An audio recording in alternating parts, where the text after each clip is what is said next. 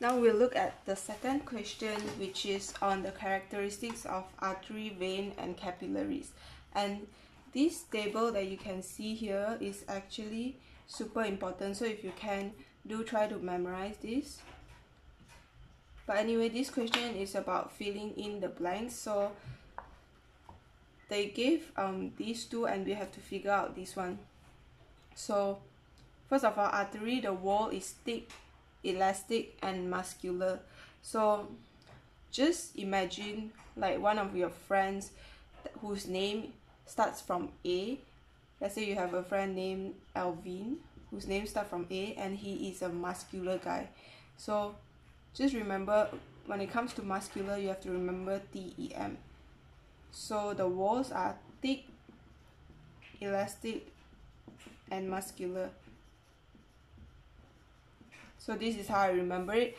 And then for veins it is just less. Okay for veins you will just have thin and less elastic and less muscular. Okay? But what they're asking here is essentially the wall of the capillary. So this is actually a characteristic feature of capillary capillaries are only one cell thick.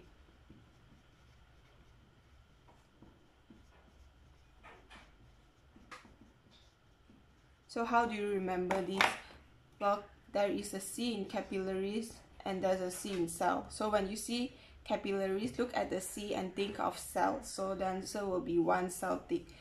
So we've done this box now we move on to the next box valves. So valves is actually a characteristic feature of veins. And to remember this it's of course very easy. Veins have valves. V and V. As simple as that. So in capillaries, there are, there are no valves at all, and in veins, we have valves.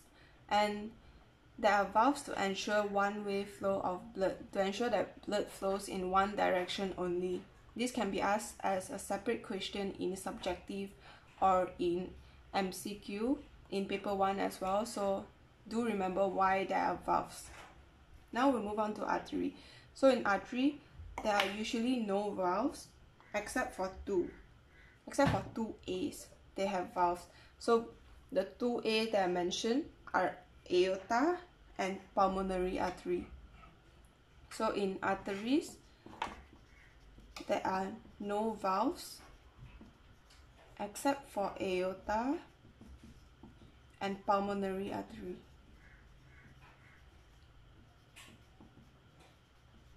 Okay, now we'll look at the next one. The next question is on lumen. So the lumen of capillary is very small. Do remember this. And then the lumen of artery is small. Okay, so we have said before on how to remember that artery is muscular. So you have a friend named Alvin. He is very muscular. So when it comes to muscular, just remember T-E-M so he is um so the wall is thick elastic and muscular. And lumen is actually the space in between the wall. Like okay this is the wall of artery or vein or capillary and this is the lumen. So when it comes to artery the wall is very thick. So common sense, when the wall is thick, the lumen will be small. Alright, so this is why your answer for lumen will be small and for veins, it is thin. So the lumen will be large. So this answer here will be large. And next, we'll have the direction of the blood flow. The direction of the blood flow of artery and vein are actually opposite to each other. They oppose each other. So how do you remember the direction of blood flow of artery? Artery. A. Okay? So A means away. Away from heart. So this is the answer for this column right here. the direction of blood flow of artery is away from the heart and then from veins it is towards the heart because um, it's opposite artery and vein are always opposing each other so if the artery is away from heart then the vein is towards the heart and then for capillaries it's just from artery to vein what you can remember how you can remember that in capillaries the blood flows from artery to vein is when you see the A here. Okay see the A here and you know that it's from artery to vein. Alright now we move on to the next one blood pressure. The blood pressure in artery is high and you can remember this by again referring to the thick thing that we talked about artery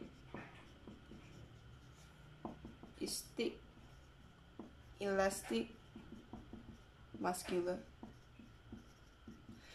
so every single part of our body is that way for a certain reason. It's just not without reason that your artery is thick. Why is it thick? It is because there is high blood pressure. When there is high blood pressure the heart has to work harder to pump the blood and so the thickness of the artery helps in that. So that is why the blood pressure in the artery is high and the blood pressure in veins is low because the walls are thin and less muscular. In, capi uh, in capillaries, the other hand, the blood pressure is very low because the capillary is only one cell thick. How do you remember that the capillary is only one cell thick? Write out capillary C cell. So, one cell thick. Okay, next the oxygen content. The oxygen content in artery is very high because the function of the artery, okay wait, let me try to explain that properly again. The oxygen content in the artery is very high because the artery, where is the direction of blood flow in the artery?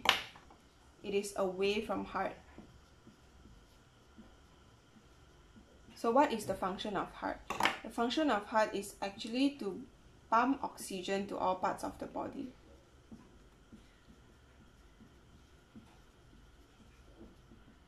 So now you can remember that the oxygen content in artery is high because it is from the heart and the function of the heart is to pump oxygen to all body parts.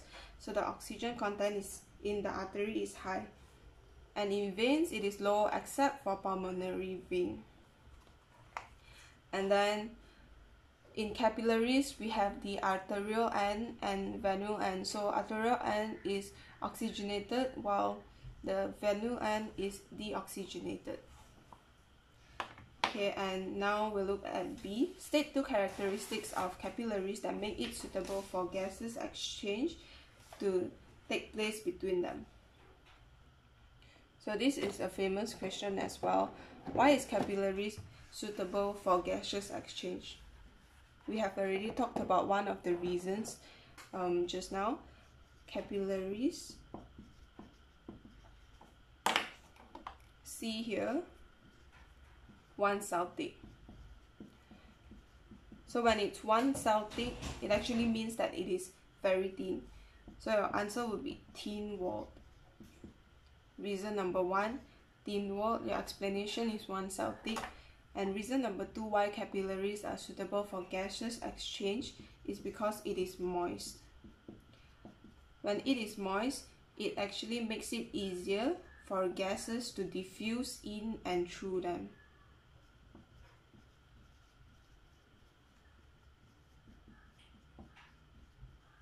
By the way, I use the arrow a lot and this arrow represents two it's just my way of um, short forming these things.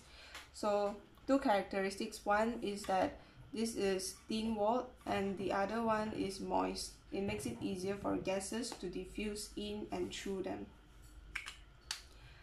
Okay and finally C in the diagram below label the artery arteriole capillaries venules and vein So look at this diagram here.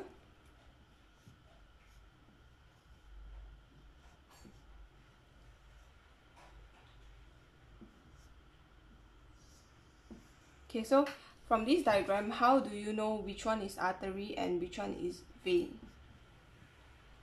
Okay, actually in this diagram, they did give a bit of a clue because this side is darker and when it's darker it usually means that it's oxygenated and that is how you will know that it's artery. But then the other more important and more obvious clue is this direction that they have given here. So the capillaries is in the middle. You're asked to label the capillary as well so capillary is always in the middle of artery, artery and vein. And previously we have talked about this in capillary. Look at the A here to V. So in capillaries the blood flows from artery to vein. Right. So this would be artery because this is the direction that they have given. So this would be artery. And this would be vein next we have two more terms left to label and they are arteriole and also venule so first of all you need to know what are arterioles and venules. So arteriole is actually a mini artery and vein is and venule is actually a mini vein. So when you know that you know just where to label it. It'll be somewhere here it's an artery and then it comes to mini artery then it goes to capillary. And then from the capillary it goes to mini vein which is venule then it goes to vein. So this is how you label this diagram for 3 marks